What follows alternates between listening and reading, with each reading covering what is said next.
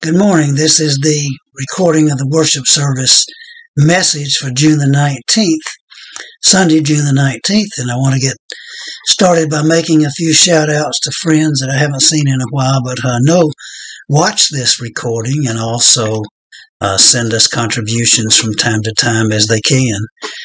Uh, shout out to Brett Barnes and his family. I look forward to having lunch with Brett pretty soon when most of the COVID stuff is gone and we can get together again. And to Janet Young, who is a shut in and having had a terrific injury to her uh, right shoulder.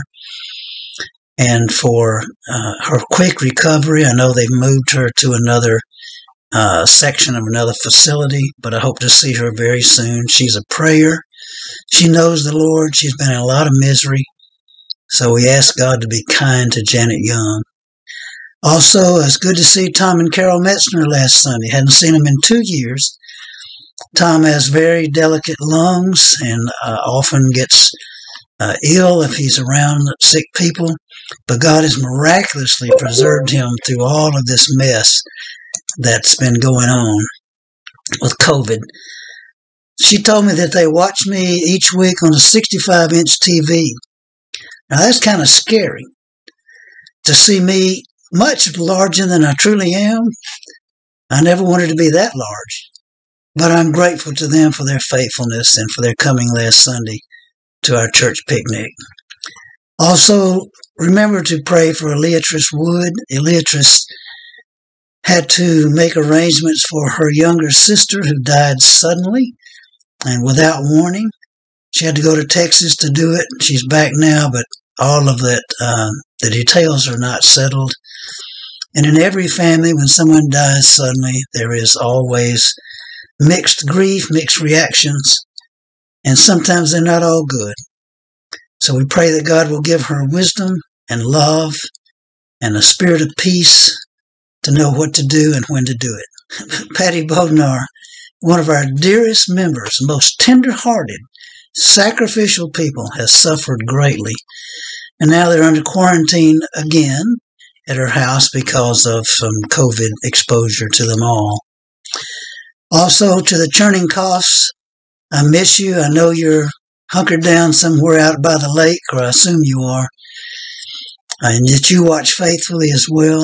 Some of our great members I look forward to when everything's back to normal, or whatever the new normal is supposed to look like. Also for Regina and Alberta, who watch the service faithfully also. Two of my all-time favorite people. I love Regina and Alberta, her mother, and they're shut in also every day due to her advanced age, uh, Regina, Alberta's advanced age, and uh, Regina takes care of her. What a godsend.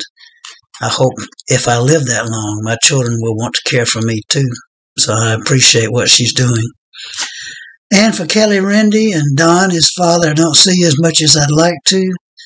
But may the peace of God rest on your house and rest in your spirit, give you strength to do more than you ever thought you could do. Also for Juanita Bourne, a dear friend in Brandon, Mississippi, where my first church was. We've kept in touch for these 27 years, and Juanita's lymphoma has returned. So if when you're praying and you've had cancer and you know what it means to pray for those with cancer, pray for Juanita Bourne a better friend no man ever had, and we love her and ask God to spare her life. Now, we move on to the facts of the service, and in the service, we're going to be singing four hymns as usual. Hallelujah, what a Savior, also known as Man of Sorrows, what a grief. Uh, what a what a name for the Son of God who came, ruined sinners to reclaim. Hallelujah, what a Savior. Then we will sing another great tune with a strong melody. I sing the mighty power of God. Then we will later in the service sing Jesus, thy blood and righteousness, a hymn which is hundreds of years old and is the church's church in every many continents has been singing this hymn for quite a while, and it deserves it. Then we'll close our service with the wonderful contemplative hymn, What wondrous love is this, O my soul, O my soul? What wondrous love is this, O my soul? Our four scripture readings this morning are 1 Kings 19, 1 to 15a, Psalm 22, 19 to 28, Luke 8, 26 to 39, and then the text for the morning, from which I will draw my remarks, Hebrews 11, 24 to 28, and it reads like this. By faith Moses, when he had grown up, refused to be called the son of Pharaoh's daughter choosing rather to endure ill treatment with the people of God than to enjoy the passing pleasures of sin. Considering the reproach of Christ greater riches than the treasures of Egypt, for he was looking to the reward. By faith he left Egypt, not fearing the wrath of the king, for he endured as seeing him who is unseen. By faith he kept the Passover and the sprinkling of the blood so that he who destroyed the firstborn would not touch them. And by faith they passed through the Red Sea as though they were passing through dry land. And the Egyptians, when they attempted it, were drowned. The name of this message is Making the Best Choice. Every time you make a choice for something, you by necessity choose to reject something else. Every choice you make every day involves two things refusal of one thing in order to embrace another thing. One of the reasons I really appreciate people coming to church is in this day and age, they have so many other options. They can choose to do many things that are great fun or something more profitable, something financially ad, ad, uh, advantageous to them. We all every day make thousands of choices. And when we do, we are excluding other things we could have chosen. When you go to a restaurant, you'll see many choices on the menu. You rarely see, although I have seen it, a restaurant with only one menu item. And that was in Harrison, New York. It was a hot dog restaurant. You can have anything you wanted as long as it's a hot dog. Remember, Henry Ford said you can have any color Ford you wanted as long as it's black. Well, this hot dog store, uh, restaurant in Harrison, New York had just that hot dogs. But most of the time, you have many choices to make. And when you choose one thing, you necessarily reject another. Our scripture said, By faith, Moses, when he had grown up, refused to be known as the son of Pharaoh's daughter.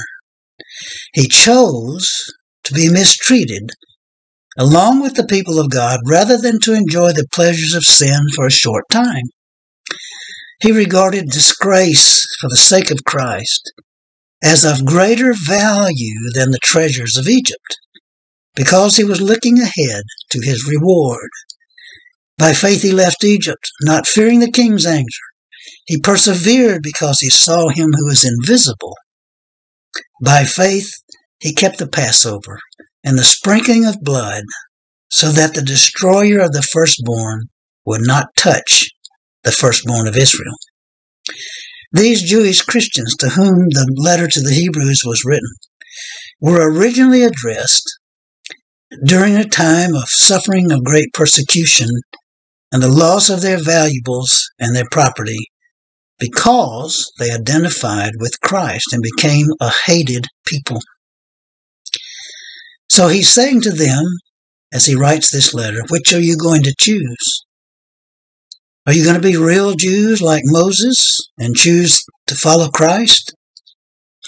Moses faced the same thing, the writer says, because by faith he believed God and readily embraced the consequences.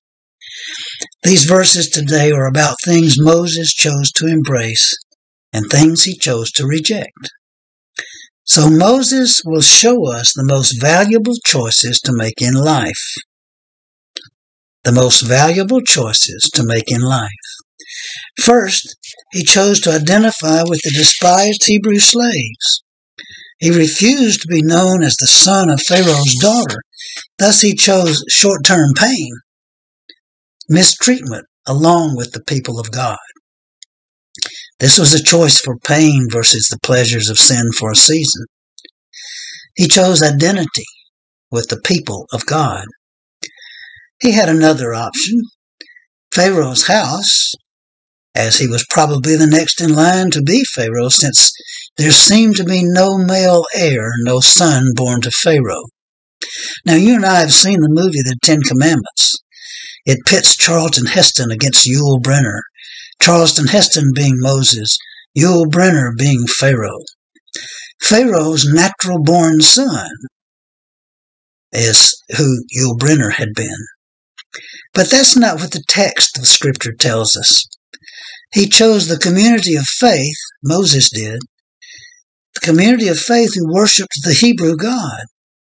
Remembering the story of Joseph in Genesis 43, verse 32, we read these words Egyptians cannot eat with Hebrews, for that is detestable to Egyptians. Now that's 400 years before Moses comes along. To be a Jew was to be an hated and expendable slave. Moses chose the path of suffering rather than the pleasures of sin for a short while. He refused to immerse himself in an immoral culture in which he could have any indulgence that his body or mind could imagine. So the question comes home to, to you and to me. If you knew that you wouldn't get caught satisfying your every desire, would you do it? What would you choose? Moses refused the pleasures of sin for a short while. He took the long view. First, then, Moses chose to identify the despised Hebrew slaves with the people of God, and that was his first choice. His second choice, he chose the disgrace of Christ, the disgrace associated with following Christ. This was a choice for shame versus the treasures of Egypt that lay at the feet of Pharaoh's household. He chose reproach and scorn, ridicule, because it was the only way to receive the joy of belonging to Christ, the hope of the coming deliverer, given to Abraham, Isaac, and Jacob, his father, was a focus on the coming of Christ. Abraham rejoiced to see the day of Christ, the Bible says. Now, what was his motivation? What motivates you to make the choices that you make? In verse 26, it says, He regarded disgrace for the sake of Christ as of greater value than the treasures of Egypt, because he was looking ahead to his reward. We're told that in our time, uh, deferred gratification is hardly in anyone's vocabulary. It used to be. Everybody wants everything right now and does not want to work for it or wait for it. All those who feel so privileged in this generation, particularly younger people who've never had to wait for anything, are choosing short term because they're being trained to do that. Moses was looking ahead, looking to the future for his reward. What I value most in life is what I choose. That is why the Apostle Paul writes in Colossians 3 1 through 3 Set your affections on things above, where Christ is seated at the right hand of God. Set your mind on things above, not on earthly things. So, in two verses, set your affections on things above, where Christ is, and set your mind on things above, not on earthly things. For you died and your life is now hidden with Christ in God. When Christ, who is your life, appears, then you also will appear with him in glory. Don't know if you've ever looked through a telescope before, but faith is like a telescope reaching into the future. A telescope narrows the focus of your eye. It blocks competing light and competing images allowing you to focus on one object far away. In a way, it's sort of like macular degeneration. You can't see the peripheral anymore. You just see what the eye has to see dead set in front of it. And so faith is a telescope into the future. You see Christ at the right hand of God. You see faith, the way to receive Him, and you trust in Him alone for your salvation. Faith brings your focus on Christ. Moses was focused on the Christ. That text says so. He was focused on the Christ who was yet to come, and to come with far greater rewards than Egypt ever offered. Moses chose to live for Christ's approval rather than the approval of any mortal. He wanted what Christ alone could give him, and so he made the choices that would lead him to Christ. What was Moses' final reward? Well, if you look at the scriptures, you see that he appears with Elijah to speak with Jesus on the Mount of Transfiguration. And the scripture says they spoke about the exodus of Jesus, which was soon to come. Moses certainly saw Christ by faith in his lifetime. And then the moment of his death, he saw Christ face to face. And here he is appearing in the mount of, uh, on the Mount of Transfiguration. Moses and Elijah talking with Jesus about his coming departure. His exodus is what the word says. His exodus. To be approved of by Jesus is what he wanted. So that is what he got by faith. Philippians 3 verses 8 and following says, I consider everything a loss compared to the surpassing greatness of knowing Christ Jesus my Lord, for whose sake I have lost all things. I consider them rubbish, that I may gain Christ and be found in him, not having my own righteousness that comes from keeping the law, the Ten Commandments, but that righteousness which is through faith in Christ, the righteousness that comes from God and is by faith. I want to know Christ and the power of his resurrection and the fellowship of his suffering, being like him in his death, and so, somehow, to attain to the resurrection from the dead. I want to please Christ. I want to know Christ, Paul writes, and so he does. Here are the things then that Moses chose that we should also choose. He chose to be part of the people of God, the Hebrew slaves in his day. Today, it is all those who confess Christ openly before men as the Son of God and the Savior of sinners. That is the church of Jesus Christ around the globe. We want to be part of that and we are willing to openly confess Him before men in order to attain that. And then a second choice Moses made.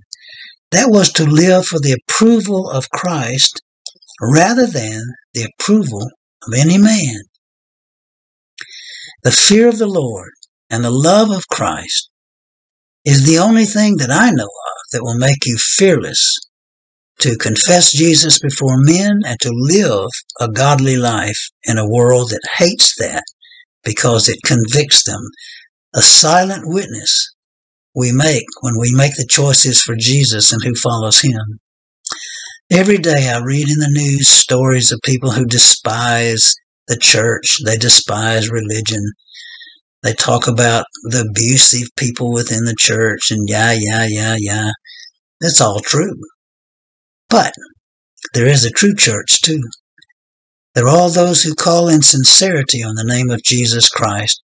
Those are our brothers and sisters. Hypocrites abound. Of course they do. You make sure that you're not one of those, that you are choosing to follow Christ, to identify with believers in the church and those believers sometimes who don't go to church. But we go to church to be nurtured in the Word of God, to sing the Psalms of Zion, to be reminded that we are sinners saved by grace alone. No reason for arrogance. None whatever, for God hates arrogance. But we are those who are saved, who ought to receive the just punishment of our sins, but don't because Jesus stood in our place, bore our sins in his own body on the tree, the Bible says, rose again from the dead for our justification, declared not guilty at the judgment bar of God. We are those who identify with those people, and we'd rather have Christ's approval than man's. Moses chose to identify with the people of God and to live for Christ's approval. Every day, you and I make choices of what to embrace in our lives and what to reject. We're making choices based on what we value the most. All of your choices are spiritual in nature. That is, they show what you value. If you have no eye for Christ and His reward that He can give us, then your values will necessarily be short term and focused on maximizing pleasure avoiding pain at all costs, avoiding shame at all costs. If you value hearing the voice of Christ say, Well done, good and faithful servant, enter into the joy of your Lord, then you will not be afraid of the short term pain and shame that the unbelieving world will visit upon you for choosing to live for God's approval. What do you really want? Your choices tell what you really want. If God gives you the fruit of your choices, where will you be in the future? Let us pray. Our Father, none of us is worthy of your great love. We have all fallen many times.